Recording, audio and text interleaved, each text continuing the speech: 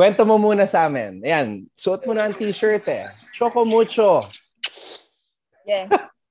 Kwento mo sa amin, paano ka kinuha ng Choco Mucho Flying Titans? I remember nung um, college days ko po, um, nag-tune up kami against Ateneo. Then after nung game, after po nung game na yon, parang si Coach O, bago kami umalis, binulungan niya ako, sabi niya, kukunin kita pag-graduate mo. Oh, ganun pala style ni Coach O, ha?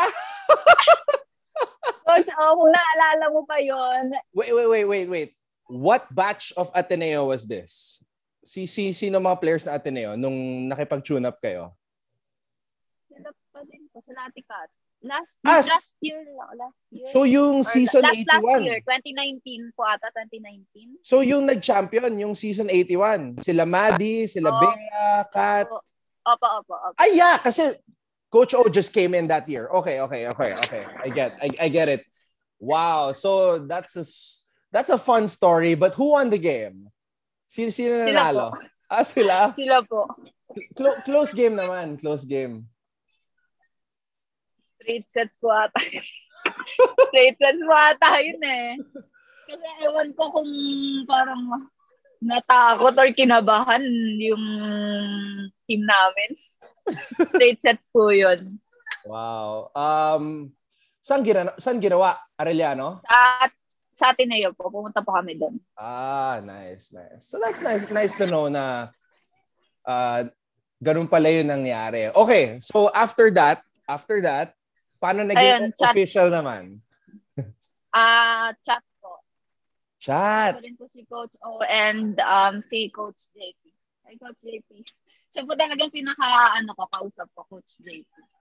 Mm, okay, so ano feeling mo na kasi prior to that, you had a different club team, di ba? Santa Lucia po. Santa Lucia. Okay, so ano yung ano yung feeling mo nung biglang nagcha-chat na sila sa tapos you know, Coach O was gonna follow up talaga on his word na after mo mag-graduate kukunin kita.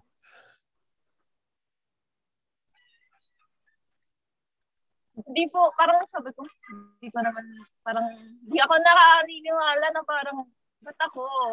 Ang dami-dami dyan na malakas, ba't ako lang? Parang ganon. Ah, Sabi ko kung ganon. So parang hindi ko po talaga siya masyadong inisip. Then, nung nag-chat, oh eh, totoo nga. wow. Ako ako when when I saw the news, Regine, sobrang sobrang saya ko para sa kasi yun nga ah, nakita ko yung galing mo sa NC and um well, let's just be honest, you know, the the exposure in the NC is not as big as the UAAP. So maybe some players like you, that's all you need. All you need is the the stage to perform. So yun nga, I'm I'm happy that you got, you're you're gonna get that here sa sa PVL. Ganda ng kwento eh. Ganda ng kwento na binulong ni Coach O sa'yo, kukunin kita after mo mag-graduate. Kanina nga po, chinat, chinat ko Okay. siya kung naaalala po na yun. Kasi baka mamaya, ako lang may alam nun. Pero talaga, promise, naalala ko po yun. Uh, ano sabi ni Coach O? Naalala niya? Hindi po ata, hindi pa po ata niya nababasa yung ano ko, yung chat ko. Coach, Coach O! Coach, I know your memory is really good. I know your memory is really good. So hopefully you could confirm this. But, you know, Re- Regina's honest. She's not gonna make up, you know, stories like this.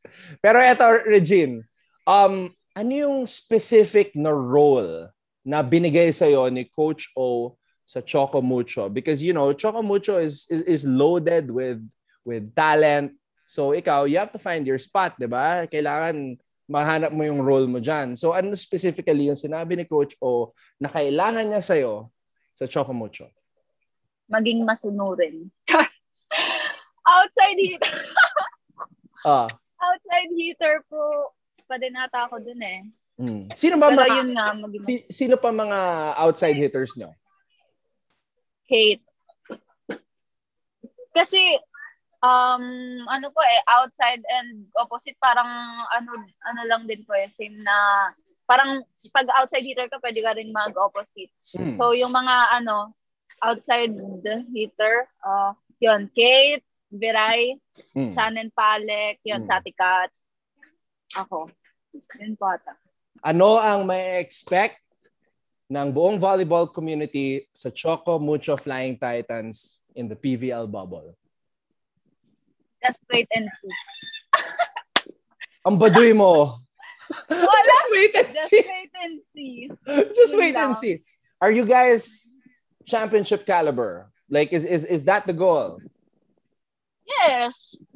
Almost all the team naman po, di ba? Yun talaga yung goal. Kaya talagang go hard with the training para dun sa goal na yun. Let's make, wala. Ah, Parang may sasabihin ka pa.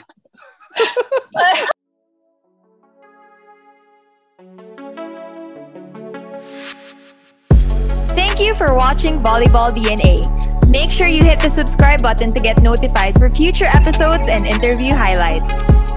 And while you're at it, head over to our Facebook page by clicking on the link in the description.